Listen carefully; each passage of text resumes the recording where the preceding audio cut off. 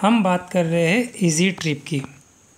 अगर आज के दिन की बात करें तो हमको इसमें तीन परसेंट तक की गिरावट के साथ स्टॉक ने क्लोजिंग दिखाई है। हमने देखा कि स्टॉक ने एक जंप आया था 46 तक का, वहाँ से स्टॉक ने रिजेक्शन लिया। अगेन रिकवरी दिखाया, लेकिन इस बाउंस बैक के साथ अपने हाई को ब्रेकआउट नहीं कर पाया। अगेन हमको गिरावट देखने के लिए मिली है। और इससे पहले वीडियो में हमने जब गिरावट दिखाई थी स्टॉक ने सपोर्ट लेवल को डिस्कस किया था 44 के और इसको ब्रेक डाउन कर जाता है तो नेक्स्ट सपोर्ट 43.50 जो है जो है 43 का लेवल, जहाँ से स्टॉक इससे पहले हमको सपोर्ट लेकर बाउंस बैक दिखाया था 43 का लेवल इसको डिस्कस किया था। और तगड़े सपोर्ट के तौर पर 40 के लेवल को हमने डिस्कस किया था।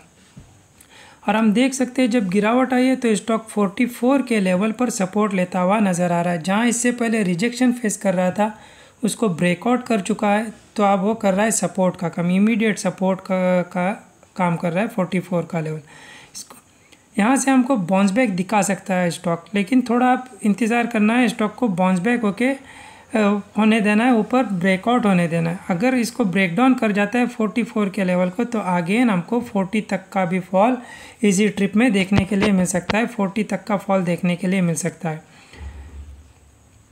अगर यहाँ से स्टॉक बाउंस बैक होकर अपने इस हाई को ब्रेकआउट कर जाता है तो वैसे कंडीशन में बड़ी तेज़ी हमको फिर देखने के लिए मिल सकती है। फिर हमेशा की तरह इसमें एक हमको बड़ी बाइंग देखने के लिए मिल सकती है। इमीडिएट टारगेट अपना यही रहेगा, इसका हाई जो है फोर्टी सिक्स फोर्टी का लेवल अगर ये ब्रेकआउट हो जाता है तो वैसे कंडीशन में फिर हमको 50 से लेके 54 तक के भी टारगेट शॉर्ट टर्म में ही इजी ट्रिप में देखने के लिए मिल सकते हैं।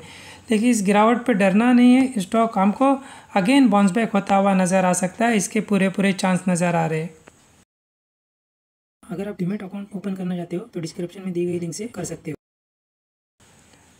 वीडियो जो एजुकेशन पर्पज़ के लिए कोई बाय और सेल की सलाह नहीं है।